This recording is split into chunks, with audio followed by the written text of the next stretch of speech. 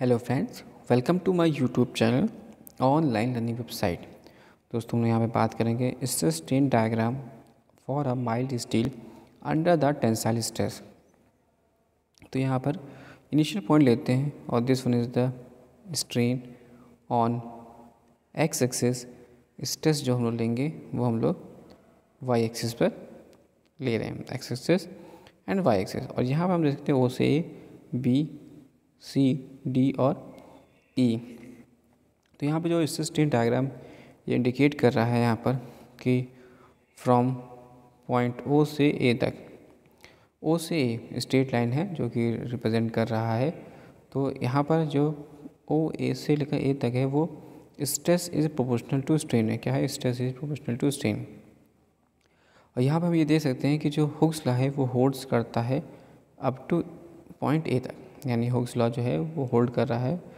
Point A तक, जिसको हम लोग बोलते हैं इलास्टिक लिमिट, यानी ओ से ए तक हमारा यहाँ पे क्या हो जाएगा, वो कहलाएगा इलास्टिक लिमिट। देन जब मटेरियल जो होगा, वो when the material stress beyond this limit यानी ए से ऊपर की ओर बढ़ते हैं तो strain increase more quickly than the stress when the material is stress beyond the limit तो स्ट्रेन जो होता है वो इंक्रीज हो जाता है more quickly than the stress फिर देन पॉइंट बी हमारा क्या कहलाएगा? Point B and point C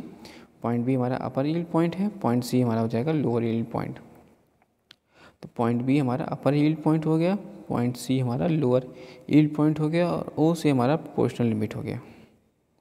तो देन जो stress corresponding stress corresponding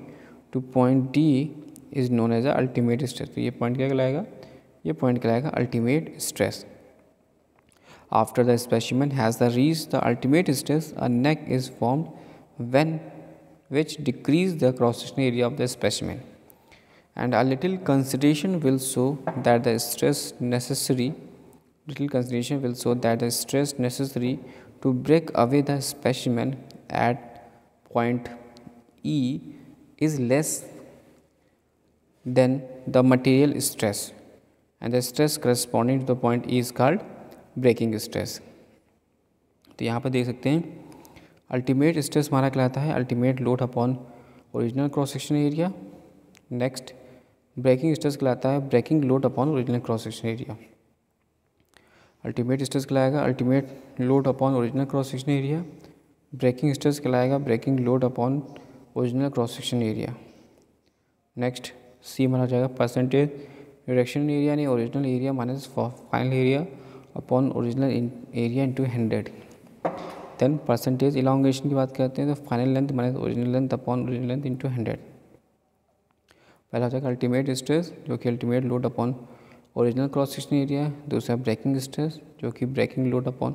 original cross section area percentage reduction area जो कि original area minus final area upon original area है, जबकि percentage elongation final length minus original length upon original length into hundred है। यहाँ पे हम ये देखते हैं कि जो टेंसाइल टेस्ट है, वो परफॉर्म होता है ऑन डक्टाइल मटेरियल और कंप्रेशन स्ट्रेस जो होता है, वो परफॉर्म होता है on brittle material that means जो ratio of ultimate stress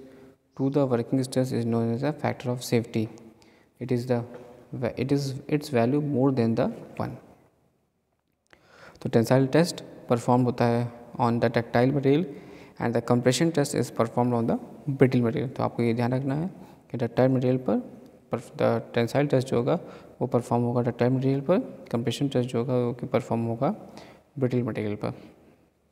Thanks for watching and sharing